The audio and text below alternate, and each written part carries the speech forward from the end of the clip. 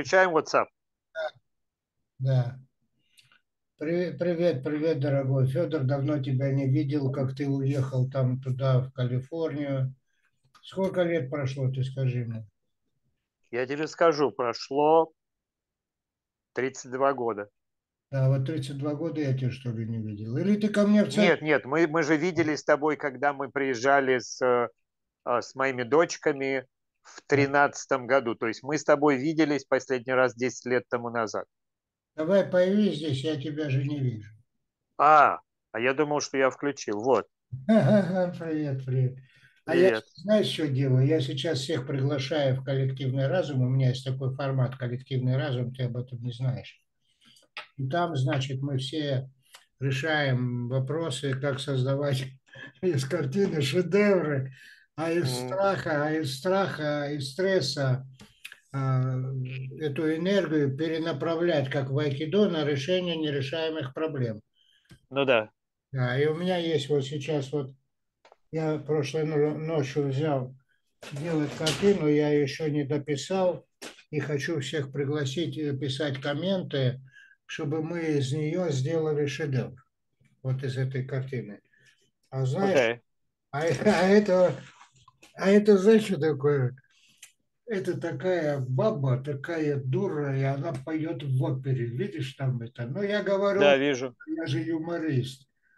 Я думаю, вижу. женщины, они не обидятся, потому что юмор добрый украшает беседу. Ну да. Да, и они будут сейчас нам помогать, потому что женщины, они гениальные, они берегини, они своей любовью защищают мир от войн и кризисов, а они помогают своим близким добротой и теплотой своей, и они продолжают э, род человеческий, если бы не женщины, где бы мы, мужчины, были, да? Это правда. Да, но, к сожалению, мужской ум такой, он все время генерирует что-то новое, он пытается что-то создать, и надо, чтобы... А вот сейчас такая ситуация, когда мир попал в неопределенность, потому что развивается интернет, интернет иначе и быть не может. И в этих условиях... А вот вопрос, вот вопрос.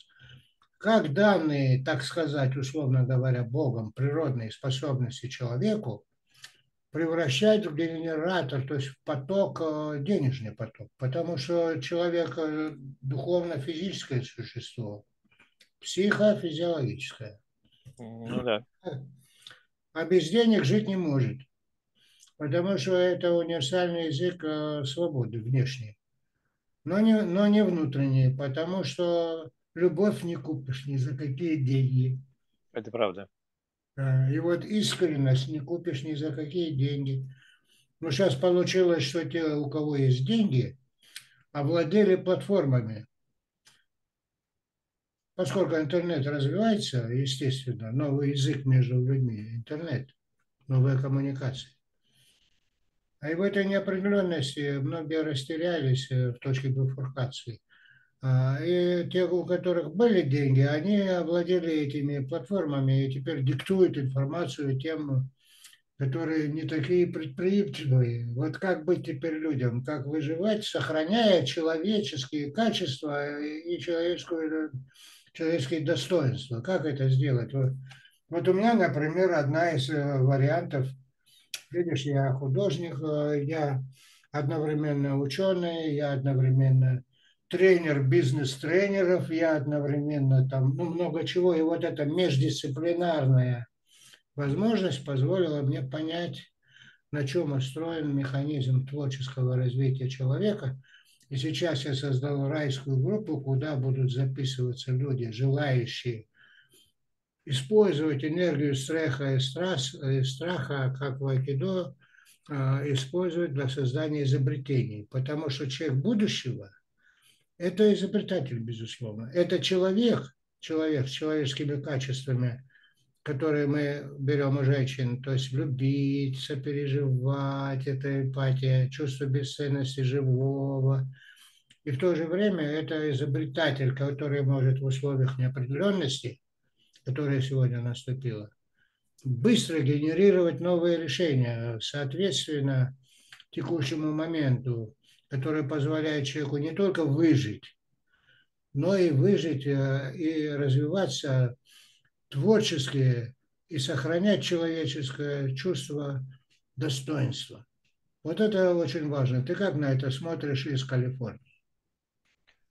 Ну, я очень э, положительно на это смотрю в том смысле, что да, конечно, а, людям нужно, а, ну вот как ты относишь свойства ты, а, извини, ты, ты вот говори, говори, а я пока краски буду раскладывать. Чтобы а, хорошо, хорошо, хорошо. Сделали, да. я пока вот краски... как ты говоришь, э, вот такое свойство ценить а, жизнь, и, наверное, не только человеческое, а вообще все живое, а, ты относишь это к, к особенностям женщины, а как бы изобретательство и нахождение каких-то новых путей, как мужские, а, я на это смотрю больше как, наверное, вот как смотрят на инь и янь, который присутствует в любом человеке, независимо от того, мужчина это или женщина. Конечно, в большинстве женщин больше женских черт, а в большинстве мужчин больше мужских, но бывают как бы такие, ну, наверное, в каждом мужчине есть что-то женское, а в каждой женщине что-то мужское, ну, в разных пропорциях, наверное, в зависимости от конкретного человека. И, ну, знаешь, вот как есть всякие такие, а, но больше прикольные тесты а, на то, чего в тебе больше мужского или женского, и я вот как раз по приколу такие тесты иногда делаю, и у меня, как правило, получается 50 на 50, то есть я в этом смысле как бы такая смесь женского и мужского, а, и я не знаю, может быть, это как бы оптимальный вариант для того, чтобы человек был, ну, представлял в себе какие-то, ну, баланс, потому что ведь как мы, а, люди, занимающиеся физиологией, биологией, психофизиологией, мы всегда говорим о балансе о равновесии, потому что любой э, экстрим, любая крайность э, приводит к каким-то нарушениям, и если это длится долго, как, скажем, стресс, это достаточно серьезные нарушения возникают, как, скажем, сейчас я, например, в своей практике очень много э, помогаю людям, у которых панические атаки, всякие тревожные состояния, тревожно-депрессивные состояния. А это связано вот с этим как раз перекосом, когда э, одна куда-то все в крайность идет, и таким образом и происходят все вот эти вот вещи, поэтому я за баланс, поэтому я за баланс мужского и женского в каждом человеке. Видишь, написано, что опора человечества. Видишь? Ага. Там внутри есть много разных людей, естественно. Ага. А да. Есть моя семья. Э, я э, там же а, мой сын Олег, который сейчас психолог, очень хороший психолог и художник, между прочим. Потому ага, что ну, сказать, тебя, видимо. Мы все художники. И ты тоже художник. Просто дело в том, что ты не знаешь о том, что у тебя есть эти способности. Я абсолютно не знаю, потому что я ноль художник, абсолютно полный сейчас ноль. Я скажу, сейчас я скажу, если бы ты не был художником, ты бы не мог мыслить, ты бы не мог фантазировать, а, ты бы не мог мне говорить такие интересные вещи, которые сейчас говоришь, потому что это именно Ян и Инь, как ты говоришь. Mm-hmm. Просто там активная более часть э, я. Ну да а там активно более инь. И все время человек пытается найти равновесие через общество, потому что человек социальное существо.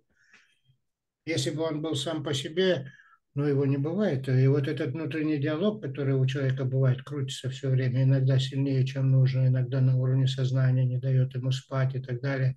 И что все говорят, надо укротить внутренний диалог – выйти на такую легкую пустоту в голове, медитативное состояние, релаксация и так далее, и так далее. Это как раз таки вот это, что человек единица общества, а он не сам по себе.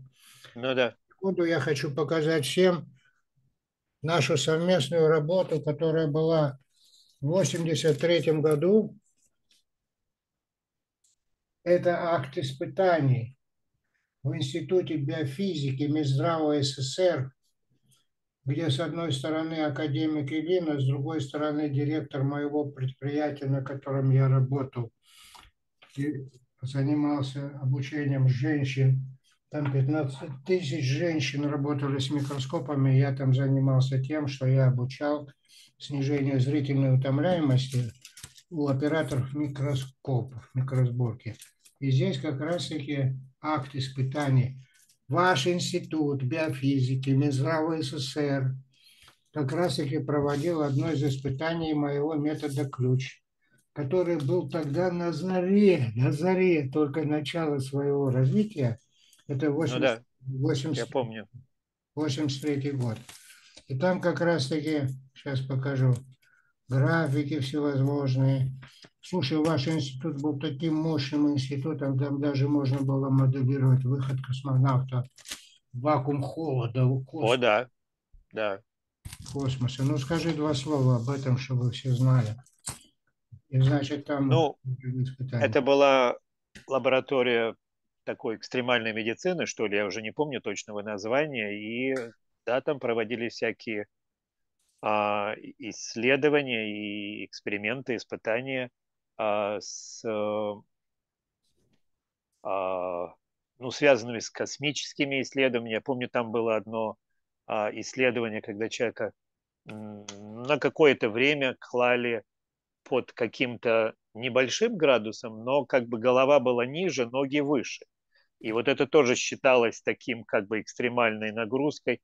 Еще были, я помню, интересные эксперименты по полной сенсорной депривации, когда создавали такую реальную полную сенсорную депривацию, э, серый шум э, в смысле звука в ушах и э, в смысле на, на глаза тоже одевались такие штуки, которые давали просто серый фон и делали так, что человек даже не мог себя потрогать пальцами.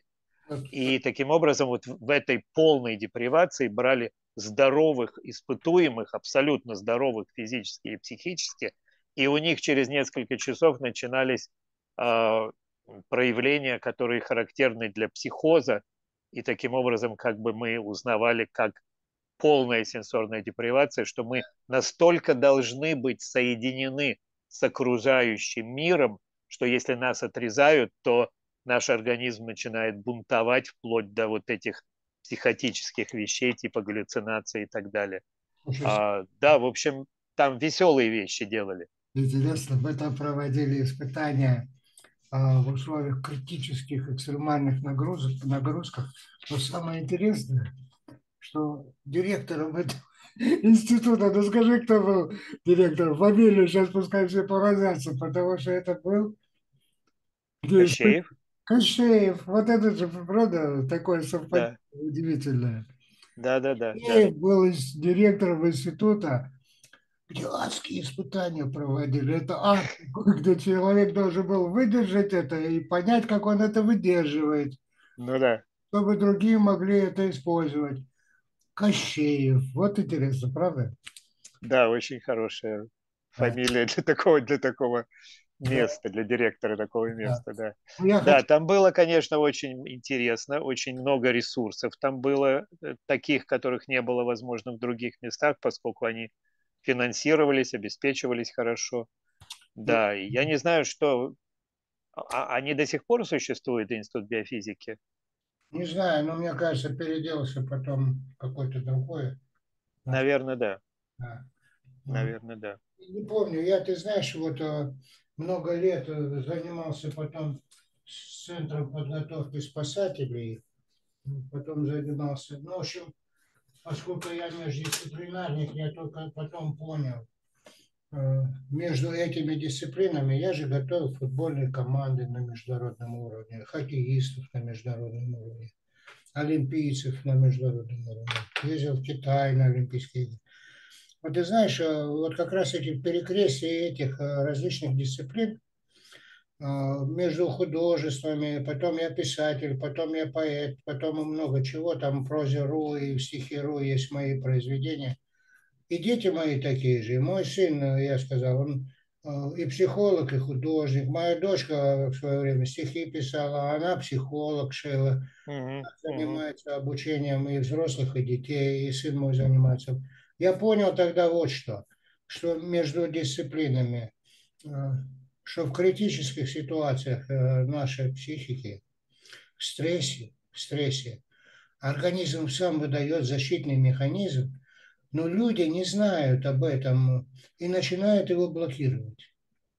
А его надо выпускать именно на решение нерешаемых вопросов, э, как стресс-трамплин.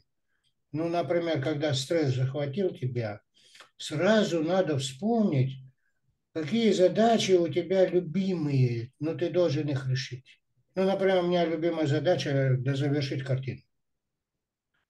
И я, когда меня стресс схватил, а у меня тут э, титан э, после падения на гололеде вместо позвонка там титан стоит, э, и поэтому я инвалид, один из самых сложных инвалидов на планете. Вау.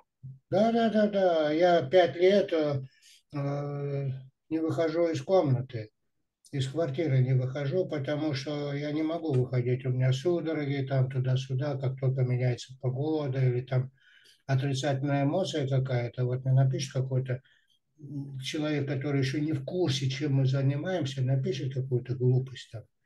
И у меня сразу напряжение, адреналовая система включается. Я да, сразу, конечно. Я сразу знаю, что с этим делать, и этому учу людей у себя в школе человека будущего. Угу. Я именно этому учу людей, как вот это преобладание адреналовой системы над эндорфинной системой – парасимпатической, симпатической, mm-hmm. как выровнять и как использовать для создания шедевров, произведений, стихов, э, картин, э, изобретений. И у меня там школа «Человек будущего», Homo Futurus, как это делать со скоростью инстинктивных реакций выживания. Как с этой скоростью мгновенно создавать изобретения. Сейчас я буду набирать э, в школе в отдельную группу Э, райскую группу людей, которые хотят использовать. Э, Ты знаешь, вообще вот эта идея использовать энергию стресса, как говорится, в мирных целях, да. это, ну, наверное, самая а, мощная идея и в медицине, наверное, и в общественных науках и так далее, потому что а, действительно, когда, когда а, мы под стрессом, то есть как бы два варианта реагирования. Первый вариант – это как бы еще больше уходить в себя, изолироваться и оставаться один на один с этим стрессом и с физиологическими последствиями, которые э, происходят. А другой эффект стресса – это когда тебя как бы этот стресс вышибает из твоего нормального состояния, и ты выходишь как бы за пределы этой ситуации – и начинаешь смотреть как бы из космоса на все это, и вот тогда, собственно, какие-то творческие, э, творческий потенциал и э, стимулируется, и таким образом ты видишь решения, это, которых ты не видел раньше. Я не видел столько лет, а ты говоришь о том, о чем я говорю. Ты же говоришь о теореме Гёделя, о том, что человек, захваченный задачей, должен выйти из нее чтобы Абсолютно. на нее со стороны, посмотреть на нее сверху и найти решение. Ты же говоришь о том, о чем я говорю. Вот ты посмотри, мы ну да, но виделись, а мы ты знаешь... Я вообще абсолютно убежден, что все нормальные люди мыслят одинаково. Ненормальные только мыслят по-разному. Это, скорее всего, правда. И ты знаешь, я не удивляюсь тому, что мы с тобой как бы, ну, мы не то чтобы очень часто виделись за последние десятилетия, да, но, понимаешь, сам факт того, что мы в свое время встретились и подружились, это уже говорит о том, что мы уже как бы двигались в каком-то одном направлении, и просто мы продолжили двигаться в этом направлении, поэтому, собственно, я ведь и вышел на а, ну, в каком смысле я вернулся к физиологическому, психофизиологическому подходу, занимаясь многие годы э, просто разговорной терапией, я понял, что разговорная терапия не выполняет э, свои функции, если э, не задействованы какие-то физиологические уровни. Да, я сейчас принесу еще один тюбик с краской. Мне белила я еще белила. Белила еще. Сейчас да, конечно. Белила найду, потому что я тебе хочу сказать. Я занимаюсь тем, что я помогаю понять людям. А если человек понял, то и деталей нужно меньше, потому что он, он стратег тогда. Если он понял, я стараюсь э, дать понимание людям, как выйти в нирвану, то есть состояние ага. в голове, а, где снимается страх, комплексы, стереотипы, обиды, все снимается. А, и как через эту нирвану, нулевую, то есть я называю это нулевое состояние, как через нее быстро выйти в поток деятельности. Вот там то, что, о чем ты говоришь, а вот там и происходит. Я этому обучаю спортсменов и детей 10-11 э, классов. У меня даже в учебнике по физкультуре профессора Матвеева эта часть метода ключ стоит. Называется синхрогимнастика. Как можно подобрать действия синхронные текущему состоянию, чтобы снять текущий стресс, выйти из него в состояние такое, это знаешь, такое состояние, такое возникает благоденствие, когда ты можешь решить любой вопрос. Но все зависит от того, чего не знает э, человечество ни в одном методе мира не сказано то, что я сейчас скажу. Я хочу, чтобы все слушали об этом внимательно. Ни в каком методе мира не сказано, давая какие-либо упражнения, вот там на рекомендации, там много разных приемов, и методы Сильва, там и методы там Шульца, там и методы там тренинга другого. Нигде не сказано, что итог состояния, результат зависит от исходного состояния и цели применения в этот момент, то есть в моменте. То есть то же самое действие, например, я делаю хлест руками по спине, прежде чем взять кисточку, чтобы снять нервный зажим. Mm-hmm. Mm-hmm. То же самое действие, если я сделаю, в исходное состояние было, что я не выспался, я сделаю, а мне потом захочется спать. Mm-hmm. Потому что я снял перенапряжение, организм затребовал то, что ему нужно для восстановления. Ну да. Если этого не выполню, это называется стадия после действия ключ, то я потом все время в напряженном состоянии себя преодолеваю, пытаюсь рисовать, а у меня ничего не получается, опять не получается. Мне бы послушаться себя, выспаться, потом встал и я так, слушай, я это так знаю, значит, когда дают йоговские упражнения, когда дают медитативные техники, когда дают холотропное дыхание, расстановки и так далее, если бы они объясняли то, что я объясняю, у них бы охват э, э, использователей был бы шире, они просто этого не знают. Это есть только в методе ключ. Поэтому, Абсолютно как... верно. Поэтому, когда я метод ключ рассказываю, у меня там последователи всегда пишут, о, после того, как я понял, как это работает, все пазлы сложились. О, у меня все пазлы сложились. Теперь я знаю, теперь я могу в любом методе найти ключ. А он же везде есть, просто он неосознанный. И, конечно.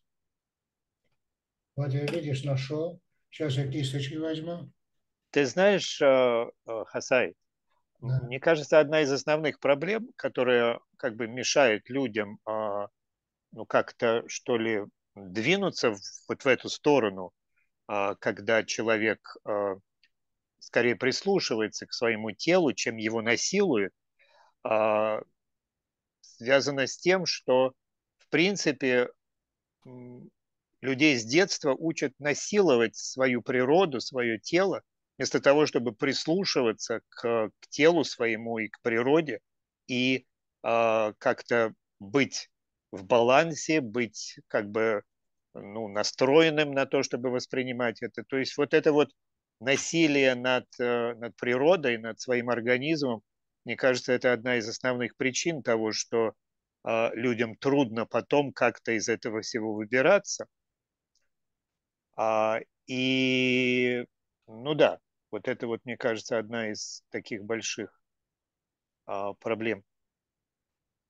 И таким образом, получается, люди, вот я по своей практике это знаю, а, работая в практике, которая ну, предлагала людям безмедикаментозное лечение от психических и физических расстройств, к сожалению, очень много людей, которые не хотят делать вот эти все вещи, не хотят понимать этого, не хотят практиковать какие-то вещи, потому что они привыкли, вот дайте мне таблетку, я таблетку еще готов проглотить, а вот все остальное, пожалуйста, не приставайте ко мне с этим. Вот, к сожалению, у многих людей вот такой менталитет, и мне кажется, что это вот еще одна большая проблема. Это так и называется, стереотип наше поведение в ответ на неопределенность. Когда нам плохо, когда что-то непонятно, что делать, мы тут же обращаемся за каким-то советом. И в первую очередь э, нам помогает то, неправильным образом, помогает то, что дает быстрый эффект. Выпил таблетку, ну, да. пустила. Вот эта вот связь э, между действием и последействием, чем короче, тем привлекательнее предложение. А вот если человеку сказать, тебе надо три вечера махать руками, допустим, ага. отряхивание, и тебе станет хорошее состояние, ему лень это делать. Во-первых, он не привык, и он не видит связи. Причем тут подражать и снять стресс и решить проблему. Вот эти три уровня у него в голове не связываются никак. Он Это говорит, правда. у меня там такая проблема, у меня дочка больная, а вы мне трястись предлагаете. Ага. Такая ну, да. Связи логической не видит. Потому что люди нацелены на результат. Им сразу нужно вот раз, да. и чтобы был результат. Поэтому как бы или таблетка, или рюмка водки, да, она да. же сразу действует. Кстати говоря, вот эта рюмка водки у нас есть. Это называется эндорфинообразование гормональное. Да, да. А, это называется а, адреналин, когда образуется, когда человек теряется в неопределенности, когда там кто-то болен, а хочет помочь, а не знает как, или у самого зуб заболел. А тут эндорфин включил, потрясся, эндорфин включил э, и понял, как надо что сделать, и помог. Ну, это просто люди... Я, я, я одну, одну из вещей вспомнил, э, которой ты привлекал людей к, к своему вот этому э, методу ключ. Э, ты говорил, что научившись этому методу, можно без, без того, чтобы выпить стакан водки, ходить, как будто ты выпил. Вот это вот людям нравилось. Ну да, я именно этим и занимаюсь. Я же наркоманов лечил таким образом. Я же ездил тогда в Италию к Падре Лиджо. Mm-hmm. Я их там тоже учил, наркоманов. Кстати говоря, гениальный человек был Падре Лиджо. А, ему сейчас, наверное, 90 и больше. А, там у него община, которую он создал, это называлось а, «Тайная жизнь», по-итальянски название, «Монда Икс». И он там в каждом городе, у него были общины. Общины, где вот наркоманы по 2-3 года жили, мальчики, девочки. Между ними были нормальные человеческие отношения, и они не пили уже, и не применяли, и не использовали. И с нами было несколько человек, среди них был один главный нарколог Ленинграда. Это в то время еще было. Mm-hmm. Да. Ну, ведь на самом деле все проблемы в лечении алкоголизма и наркомании... Это очень да. важно, я сейчас хочу тебе сказать, извини. Кстати, этот главный нарколог, э, я тогда бросил пить и два месяца уже не пил, но этот главный нарколог из Ленинграда, главное, меня опять столкнул на выпивание. Знаешь, ну, недаром он главный нарколог. Да, он мне сказал, ну ты знаешь, у алкоголика всегда остается след, Э, и поэтому ты все равно к этому придешь. Я тогда плюнул, в этот же вечер напился, понимаешь? Раз главный нарколог Ленинграда говорит такое, я два месяца страдаю, терплю, не пью там и так далее. Я не знал, я только его разрабатывал. Ну, вот такие дела, такие у нас умные. Да. да. Вот я краски положил, надо их положить э, том порядке, чтобы они у вас на глазах были. Угу. Для чего надо, чтобы все было на глазах? Чтобы когда вы войдете в поток, чтобы вам не искать, где у вас какая краска. Потому что вы угу. тогда туда вылетаете. Угу. Вот, поэтому надо сначала все расположить, чтобы не бегать, не искать, не выскакивать из потока. Потом начинаешь рисовать с чувством, что у тебя все получится, потому что не получится сейчас, получится завтра. Вот это ощущение у меня появилось, когда я впервые в жизни делал вот этот вот ключевое действие, выход на состояние, сейчас назовем нулевое состояние, раньше я называл нейтральным состоянием, как коробка передач автомобиля для переключения. Я mm-hmm. делал вот так вот, и когда руки пошли, я стал мечтать, что рисовать буду так, что люди будут приходить и дивиться, какой я диво создал, сотворил. Да, ну, естественно, будут восхищаться. И потом у меня раз внутри ощущение возникло, ну, хочешь и все, кто тебе мешает. А раньше был блок. Я раньше думал, вот есть я, а вот есть великие художники, и мне до них стена. А ну, то, да. вот для того, чтобы снять стену между тобой и деятельностью любой, надо просто использовать э, снятие вот этого страха, комплексов, стереотипов, то есть выйти на ноль. А для этого надо подобрать действия, синхронные текущему нервному напряжению. Например, подражать как будто под током, или делать хлест, или делать лыжника, или делать mm-hmm. болтая, как дети делают. То есть перебирая разные действия, подобрать то, что тебе подходит. А это критерий подбора путем перебора, это принцип ключа. Подбери то, что подходит. Что значит подходит? То, что хочется тебе продолжать. Например, дирижерские движения а, или шалтай-болтай. Что тебе хочется? Продолжай то и продолжай. И ты выйдешь, безусловно, через некоторое время на нулевое состояние, когда тебе все пофигу. Ради чего люди и водку пьют. Ну да. Ну вот, а теперь я тебе ты мне посоветуй, и сейчас все будут писать комменты, советы давать, что добавить, что убавить, чтобы сделать шедевр. Ну, во-первых, что мы хотим? Я хочу, между прочим, перевести эту оперную певицу, которая неудачная такая у меня. Я сегодня ночью думал, как изобретатель, а я в райской группе буду объяснять, как изобретать, используя сон. Я сегодня ночью думал, а что является самым главным символом метода ключ, узнаваемым во всех сайтах, не только моих, но и чужих, и которые согласие меня берут, и без согласия меня берут во всем мире. Что является главным символом? Вот это действие. Вот эта книжка у меня «Защита от стресса» или «Как сохранить и реализовать себя в современных условиях» Mm-hmm. Это я проводил обучение по телевидению центральному, программе. «Помоги себе сам». И вот здесь вот институт саморегуляции человека, и здесь у нас три академика, которые мне писали рецензию и помогали в жизни. Это академик, директор института э, общей судебной психиатрии Минздрава СССР, академик Мороз.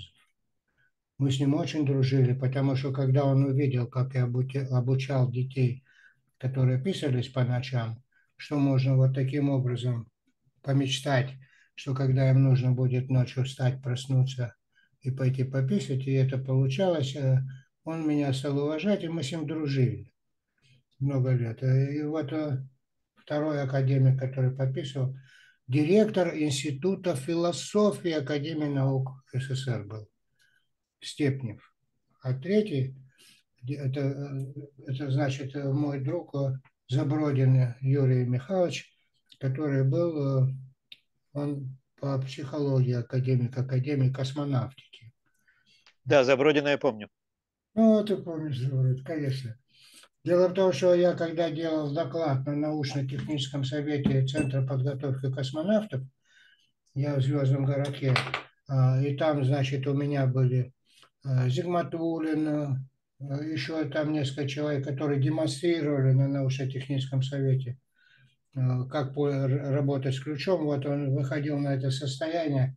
И здесь я зал военным офицерам там и ученым, и пригласил туда же Гримака Леонида Павловича, моего дорогого друга, который меня познакомил с Центром подготовки космонавтов. Я его туда же пригласил, и, значит, Э, я тогда всем предложил, я говорю, вот он теперь может сам с помощью ключа выходить на состояние, где может моделировать любые различные виды деятельности. Давайте, предлагайте ему из зала, Что вы хотите, чтобы он там сделал? Вот, например, э, Зигнатулин. Они говорят, представь себе, что тебя вращает над центрофуге. И вдруг он как понесся там, на стуле. Они, я говорю, мерьте ему давление, у него давление поднимается, слушай. Они говорят, скажи ему, пусть прекратит. Я говорю, вы сами скажите, он вас слышит, он же находится с вами в контакте, пожалуйста. Ну, они его остановили. Я говорю, он может, что хотите, то и моделировать. Потому что ключ для моделирования любого вида деятельности. Это для подготовки космонавтов, потому что можем моделировать состояние невесомости в земных условиях, чтобы быстрее адаптироваться там в полете и так далее. Я это буду в райской группе рассказывать там для тех, кого отберу, потому что у нас очень много людей, которые просто пользуются. Mm-hmm и не расширяют нашу школу, не делают ни комментов, лайков не ставят, им лень бывает. Они думают, что другой кто-то это сделает, э, ну, как привыкли в обществе. Ну, что да. кто-то другой сделает обязательно, потому что много у меня подписчиков, то в одном только YouTube-канале 187 тысяч, а еще и другие каналы. Они думают, ну, у него много подписчиков, кто-то сделает, что я буду сейчас напрягаться сидеть. Ну и поэтому школу не развивают, они туда не попадут в райскую группу. А те, которые активно, я вижу, я все комменты читаю. Они попадут. И там мы будем создавать новые. Потому что использовать энергию стресса для созидательных целей – это потрясающее новое направление. В мире этого нет. Посмотри, как мы сейчас будем делать рисование. А ты вспомни, а, может быть, в мире есть такое, что в учебниках физкультуры ставят, как подбирать себе действия, снимающие стресс и выводящие на уровень творчества. Во всех учебниках, по-моему, только как снимать стресс. Как снимать... Э, ну да, это в лучшем случае. Да, а у нас как использовать энергию стресса для достижения, как стресс-трамплин. Ну скажи, пожалуйста, что ты думаешь по всему этому поводу? Вот беру кисточку. Я в первую очередь что хотел сделать? Я хотел взять черное и вот так. Раз. Видишь? Угу. Потом сделать зеленое. Вот так. Уже немножечко меняется. Потом сделать вот так. Вот так. Мы сейчас все вместе будем. Мне будут помогать. Мне будут говорить, что вообще мы должны его убрать. Я буду согласен. Я сейчас не хочу диктовать. Я просто хочу сказать, у меня всегда глаза хорошо получились, получались. Сейчас мы сделаем их. Потому что я читал где-то, что глаза – зеркало души. А я потом думал сегодня ночью, почему у меня всегда глаза хорошо получаются. И почему я всегда рисую не горы только, не самолеты, там, э, не заборы, не дома. Почему я чаще всего рисую людей? Потому что я вспомнил вдруг, что я всегда интересовался именно людьми. Когда в каком бы городе я не был, будь то в Калифорнии, будь то в Канаде, будь то где, меня не интересовали здания, хотя они были прекрасны, меня не интересовали их моря и леса, меня интересовали люди. И меня интересовало их состояние. И меня интересовала душа, условно говоря. Душа. А говорят, глаза – зеркало души. Поэтому mm-hmm. меня интересует как раз таки глаза. Сейчас взгляд появится. И нужна будет эта вот картина или не нужна, мы сейчас посмотрим. Может быть, мы из нее сделаем совсем другую картину. Может быть, мы из нее сделаем то, тот магнит, который притянет человеческую душу, заставит улыбаться, заставит улыбаться и смеяться, и плакать, и дрожать, и вспоминать, что он любит больше всего на свете, и заниматься этим.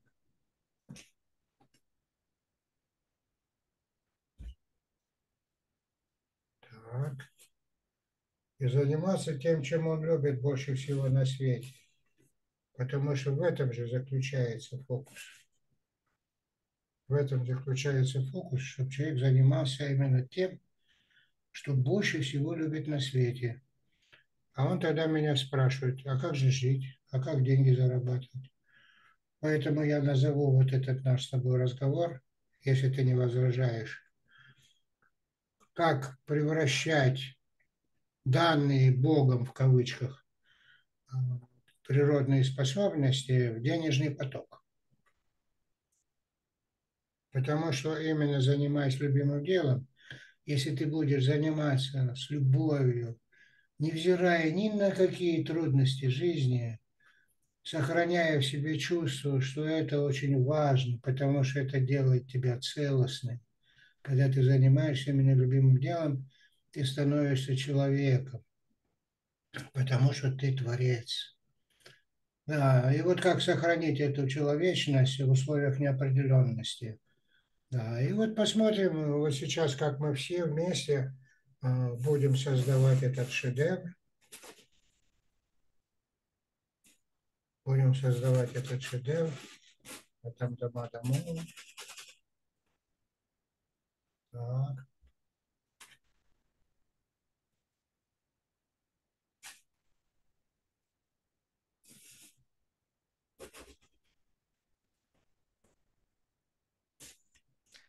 Ты знаешь, Хаса, я уже должен сказать, что вот э, то, что ты уже сделал, как бы очень, очень поменяло эту картину по сравнению с тем, какая она была вот прежде, чем ты первый раз вот провел вот эту черную линию. Вот ты провел эту черную линию, и уже, э, уже что-то поменялось. И вот так с каждым, с каждым разом что-то, что-то меняется, и вот это вот видеть, это очень-очень э, интересно. Сейчас как каждый буквально штрих что-то меняет во всем образе. Вот что интересно. Нимб на голове сделай. Нимб. Видишь, нимб? Ага.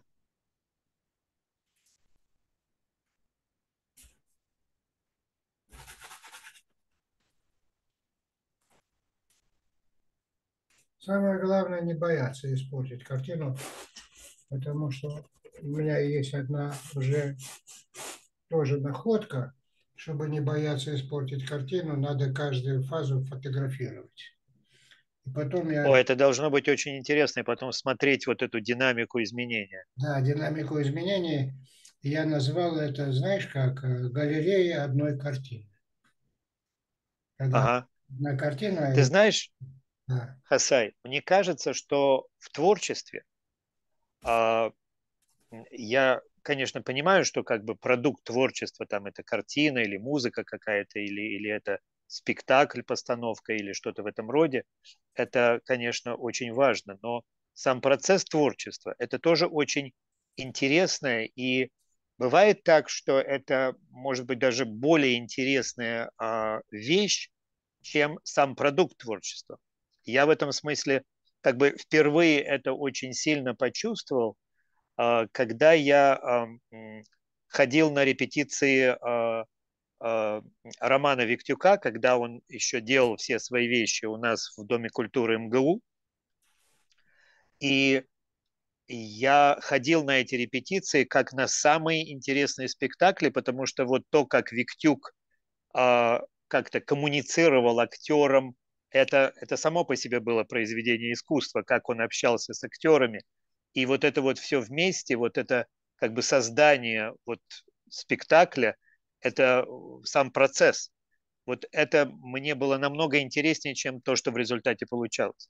То есть вот сам процесс творчества, он имеет какую-то свою собственную ценность. Да, ты говоришь прямо, вот прямо так сказать, подтверждая то, что я сказал раньше, что все нормальные люди думают одинаково. Я поэтому, у меня есть произведение, которое, что есть художник, это э, то, что нарисовал художник э, или сам процесс э, рисования? Конечно, конечно. И у меня есть еще такая метафора, или как назвать ее, метафора или что это, что есть муза. Муза – это кто восторгается художником или кем восторгается художник? Мгм. Мгм. Вот я теперь делаю вот это вот, что я показывал. На Да, вот это вот интересно, что теперь вот когда это на видео, это можно перемотать назад и посмотреть, как это было до этого. И вот буквально как бы шаг за шагом. Очень интересно.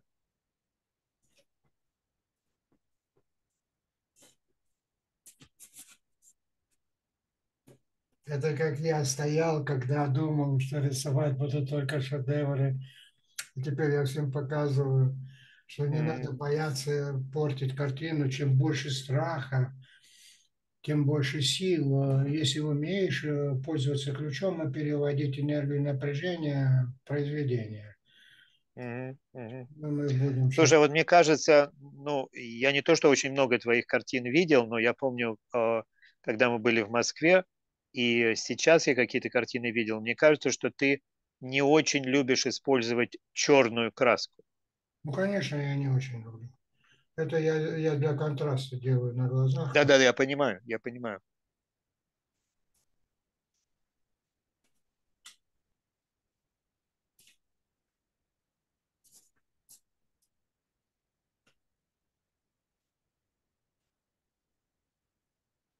Видно, что руки впереди, или на- надо как-то... поработать еще надо. Вот ты знаешь, для чего надо отходить от картины? Для того, чтобы видеть карти- картину целиком. Потому что когда я так стою, и я начинаю видеть детали, начинаю их идеализировать, детализировать, углублять, совершенствовать и попадаю в доминанту деталей и теряю восприятие целостности. Поэтому надо выходить от картины подальше, посмотреть со стороны. Так это Мгм. то, что ты говорил. Ты же говорил об этом, а я потом подтвердил, Мгм. как теорема Гёделя.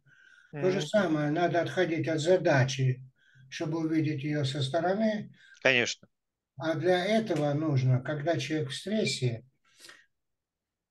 если он зациклен на какой-то ситуации, например, ребенок болен, или у него у самого нога болит, или тяжелый фильм посмотрел по телевизору, чтобы выйти, надо снизить напряжение. А чтобы снизить напряжение, надо сделать то, что действие, которое синхронно текущему напряжению. Если большое напряжение, надо потрясти сильнее. Если маленькое напряжение, можно потрясти слабее и подбирать Мгм. действия синхронно текущему состоянию. Вот этот подбор действий путем перебора развивает креативность мозга. Абсолютно. Да, вот это вот. Смотри, как мы с тобой очень ладно мыслим в одном направлении. Еще раз. Вот смотри, Хасай, э, кстати, примеры из моей как бы личной жизни, да? Я тебе рассказал, что в 12 э, лет меня чуть не убило электричеством. Да. И как это происходило? Я э, э, пытался ремонтировать электрогирлянду для новогодней елки, и а, которая не работала. И вот я поснимал все эти колпачки цветные, и оголились провода, и я как-то смотрел, что соединено, что нет. То есть я выключал из а, розетки и что-то делал, а потом включал и смотрел. И в какой-то момент я сбился с цикла и включил и взялся руками. И тогда тут же э, эти провода как бы, ну, э, впились в мои руки, как-то ну, ну, их э, связали. Ну, в общем, электричество притягивается. Я ничего не мог сделать. У меня все тело было в спазме. Я сначала как бы первым делом попытался как бы сбросить это с рук и понял, что я не владею своими мышцами, меня мышцы не слушаются. Потом я попробовал позвать брата, который находился в соседней комнате. И я и этого не смог, потому что действительно все мышцы были в сплошном спазме. И я тогда просто абсолютно беспомощный, вот так вот стоял, через меня бежало электричество. И я, конечно, уже в 12 лет понимал, что оно меня убьет. И со мной стали происходить все эти вещи, которые рассказывают, как у людей клиническая смерть, знаешь, там всякие эти тоннели, какие-то там куски из прошлого, какое а у меня там оно было в 12 лет. А, И не было никаких сильных эмоций, кроме как некоторая грусть, что ну, вот так вот моя жизнь закончилась. И в какой-то момент у меня э, начало происходить то, что психологи называют диссоциацией. То есть я начал видеть все это где-то откуда-то, ну, я не знаю, наверное, с уровня потолка. И я увидел, как вот стоит вот этот человечек возле стола, и у него руки обвиты вот этими вот э, проводами, и провода включены как бы в стену. И я увидел буквально визуально, что если этот человечек упадет на спину, то тогда эти э, вырвется розетка и, э, и разъединится электричество. И при всем при том, что я пытался это сделать раньше, как бы находясь в своем теле, у меня это не получалось. Но когда я вышел из своего тела и видел это в этой диссоциации как будто бы со стороны, как только я себе это визуализировал, я тут же реально упал и вот так вот, собственно, вот эта диссоциация, вот этот вот способ видения как бы со стороны, выходя из ситуации, фактически мне спасло жизнь. При этом я тебе хочу сказать, вот это видение со стороны, как бы решение теоремы, выходя из э, круга задачи, как по Гёделю, это то как раз-таки то, о чем мы говорим, что можно получать по ключу без клинической смерти. Mm-hmm. Большинство то, что ты сейчас рассказываешь, ты рассказываешь, как Моуди рассказывал о том, что э, все люди, испытавшие клинические смерти, одинаково не договаривались друг с другом и не знают друг друга, говорят э, примерно об одном и том же. Значит, есть жизнь после смерти, он говорит. А на самом деле я говорю, что нет, это не доказывает, что жизнь есть после смерти. Это доказывает более мощную вещь. Это доказывает о том, что мы все одинаковые что в условиях критического напряжения у нас иногда появляется вот это состояние, что мы видим ситуацию со стороны. И можем себе помочь и помочь другому, и помочь причине этих проблем, и снять стресс, и его использовать. Вот в чем дело. Поэтому, когда я экзамен, условно говоря, провожу, кого принять в райскую группу для дальнейшего развития, я задам этот вопрос – ты веришь в жизнь э, после смерти или нет? Или веришь в телепатию, что она существует? Или веришь ли ты в то, что человек может без крыльев и летать, без мотора? Ну, некоторые мне скажут, ну, конечно, так же говорят же там и так далее. Но ты-то говорят-то это одно, а ты-то внутри себя веришь в это или нет? Это другое. Потому что кто-то верит, кто-то не верит. Трезвый человек поверить в то, что человек может летать без крыльев, не может. Трезвый, ну, да. Потому что в психиатрии есть понятие критичность и ориентированность. Конечно. Если человека спросишь, какой сейчас год, и вдруг он назовет год, когда жил Наполеон, ну ясно, что он больной, правильно? Если он верит э, всякую муру, которая забивает его голову, если он в это верит, то совершенно не задумываясь, не проверяя, не задаваясь вопросами, не исследуя, а сразу верит, ну это же говорит о том, что либо он только стал жить, а молодой подросток а еще будет самоутверждаться по-подростки. Вы не знаете, вы еще просто этого не достигли, вы еще до этого не дожили, вы не дозрели, телепатия существует, он будет утверждать. А я-то всю жизнь этим занимался. Я это любил и проверял. А он еще не проверял, а уже утверждает. Это говорит о его такой высокой внушаемости. Вот таких людей так легко манипулировать. Так легко манипулировать. И поэтому у нас жизнь такая. Все удивляются, почему все знают, что мир лучше войны. Все знают. А все равно происходит. Конечно. Потому что все либо не дозрели до понимания, что мир лучше войны, либо самоутверждаются. Как говорил Будда, он только потом, через 35 э, лет, понял, что такое нирвана, когда нет страха, нет комплексов, нет шаблонов мышления, нет эго, нет самоутверждения. Вот это нирвана. Ну, а потом люди, там часть э, последователей стали понимать, о чем он говорит, а часть стали фанатиками, которые воевали, убивали других, которые из другой, так сказать, религии, хотя буддизм не религия вовсе, а философия. Видишь как, все зависит от уровня развития человека. Я Ну, считаю, конечно. я считаю, что больные люди не виноваты в этом. Я Нет, врач, конечно. я не могу обижаться на больных, и когда мне пишут какие-то гадости или что-то, я просто не обращаю внимания.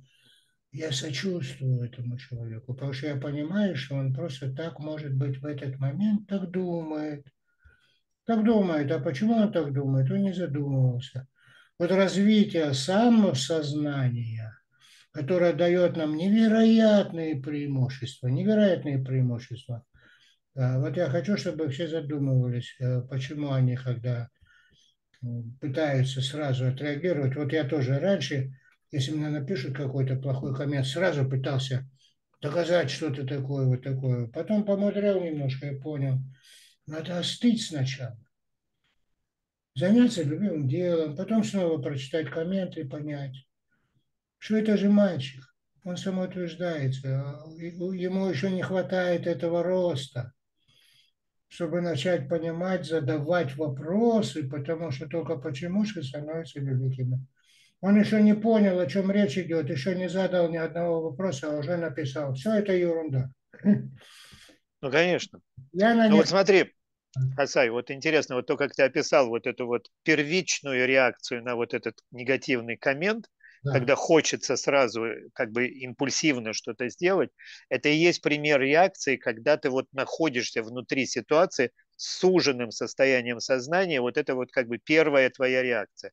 А потом, как ты рассказал, что ты попозже к этому возвращаешься и уже смотришь как бы на это издалека, под другим каким-то углом зрения и так далее, у тебя приходит понимание как бы целостности вот всего происходящего, и ты скорее находишь объяснение, оправдание, почему человек так себя ведет, вместо того, чтобы пытаться как-то реагировать и э, что-то делать, ты понимаешь, что просто этот человек находится вот в таком каком-то состоянии сознания, в котором он ему что-то не понравилось в том, что ты говоришь или пишешь, и таким образом он защищает свою, что ли, территорию, поэтому в этом присутствует какая-то агрессия и негатив. Поэтому э, ты к нему относишься скорее в результате сни, со снисхождением и с пониманием, чем э, с какой-то ответной агрессией. Я к нему отношусь с тем, что у меня называется чувством сопереживания. Ну да. Эмпатия. Поэтому я врач. Не потому я врач и поэтому к нему отношусь, а поэтому я врач. Конечно. А, потому что я нашел свои способности в своей профессии, они совпали. А у кого не совпали, кто занимается не тем, что по его природе ему предназначено, не нашел себя, вот он и занимается самоутверждением. К сожалению, да. Реализованности. Вот это вот эмпатия, это чувство сопереживания, чувство вот этого желания понять и как помочь человеку, как помочь. Первый, если первый рефлекс у человека возникает, как ему помочь, это значит, что нормальный человек. А, и, а если первый рефлекс возникает, вдруг дам ему по зубам, чтобы понял, с кем он дело имеет, понимаешь? Это ну не... да, или как использовать эту слабость в моих корыстных целях. Конечно, очень интересный разговор. Я тебе очень благодарен. Давай мы еще потом поговорим. Обязательно. Да. А это вот руки левитации, как я тебе показывал. Вот посмотри, еще одну покажу книжечку. Это ага. В британском телевидении, когда началась первая война, чеченская кампания. Ага. В британском телевидении я всех обучал саморегуляции, видишь, взлетающие руки. Да. Люди сидят, и на доске там ключик нарисован. Сердце. Я вижу. Да, уникальный прием против стресса – это брошюрка. И еще эмблема нашей школы была вот такая, как здесь. Видишь, звезды. Ага, да, да, да, да. Космос внутри нас. И вот, значит, потом на обложке на обратной я был в Канаде, обучал гольфистов, и там гольф-тренер Терри Мильскози держит э, хоккейную крышку, а я держу ключ. Да. Ага. И потом все это вместе в 96 году. Еще раз покажу. Девочка, когда руки идут. Да, да. Механически.